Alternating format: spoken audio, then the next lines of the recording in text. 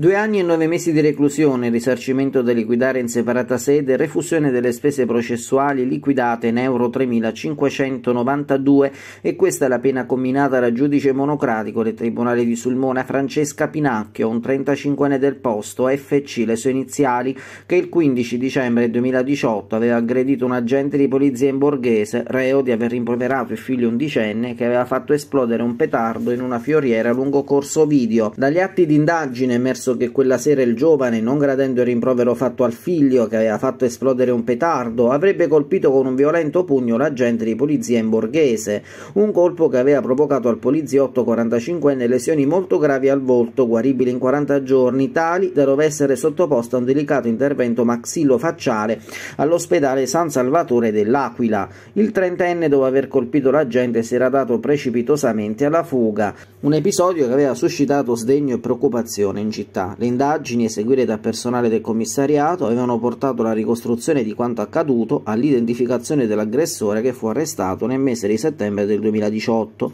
Oggi la vicenda è finita sul tavolo del tribunale. L'avvocato difensore Daniele Di Bartolo ha ricordato che l'imputato aveva colpito l'operatore di polizia fuori servizio esclusivamente per difendere il figlio minore, il quale, come refertato dall'ospedale di Popoli, aveva riportato lesioni personali, procedimento che era stato archiviato in fase di indagini preliminari preliminari. Il legale annuncia ricorso in appello, soprattutto in riferimento alla contestazione della resistenza a pubblico ufficiale.